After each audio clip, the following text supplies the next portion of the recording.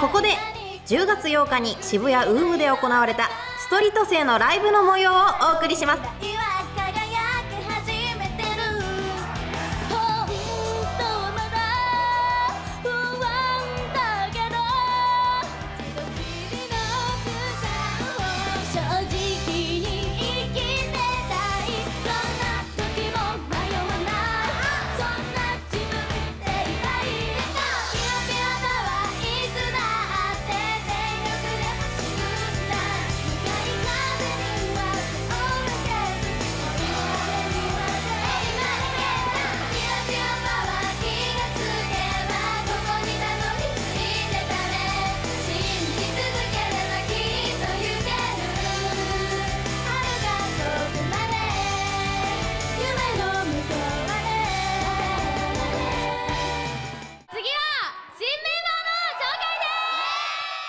日初めて新メンバーがファンの前でお披露目されましたはい、新メンバーの石上レイ中学2年生の14歳です。レイポンと呼んでください。よろしくお願いします。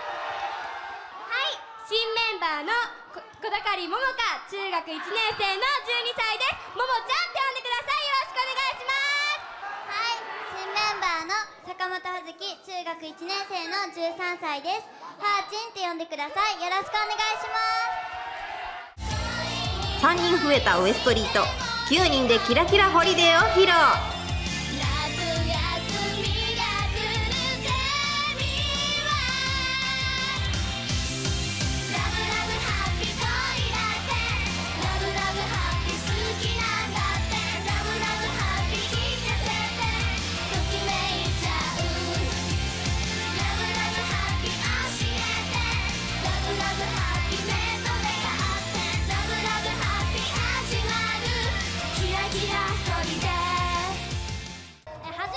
たくさんのファンが駆けつけ盛り上がったライブの最後には？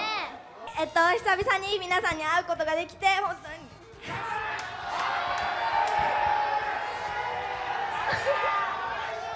本当に嬉しく思います。会いに来てくれてありがとうございました。この皆さんに会えない間。すごい悔しい思いとかしたんですけど。毎日が練習とか頑張って今こうやってたくさんの人の前で歌って踊れて本当に幸せです。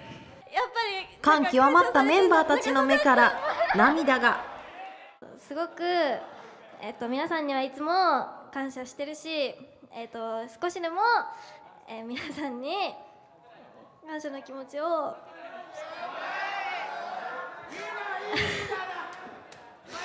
えっと人18人で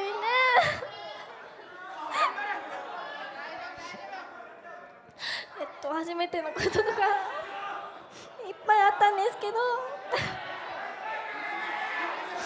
皆さんの応援があったから、えーこれから今までも頑張れてこれたしこれからも頑張っていきます。はいこれからも皆さんの期待に応えられるように、えーこれからもずっと頑張っていきます。